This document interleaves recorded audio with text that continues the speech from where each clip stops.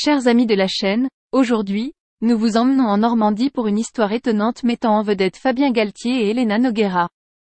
Lors de leurs récentes vacances, ces deux personnalités nous ont réservé une surprise inattendue. Alors qu'ils profitaient de leur escapade en Normandie, Fabien Galtier et Elena Noguera ont affiché une complicité évidente et leur amour était palpable. Mais ce qui a vraiment surpris les passants, c'est leur geste audacieux. Le magazine Voici a immortalisé ce moment rare où nos protagonistes ont littéralement jeté le bas, se déshabillant complètement en pleine nature. Imaginez la scène.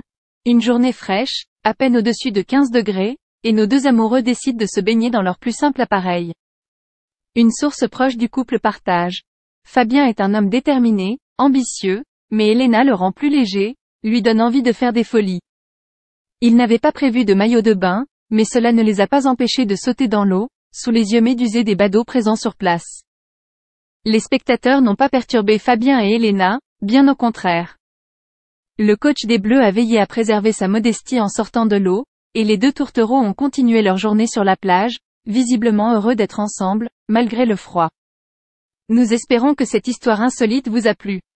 N'oubliez pas de vous abonner à notre chaîne pour ne rien manquer des histoires étonnantes et des moments inattendus comme celui-ci. Votre soutien est ce qui nous motive à continuer à vous apporter les dernières nouvelles et les récits les plus surprenants. Alors, abonnez-vous, likez et partagez pour plus de contenu passionnant à venir. Restez connectés et à bientôt.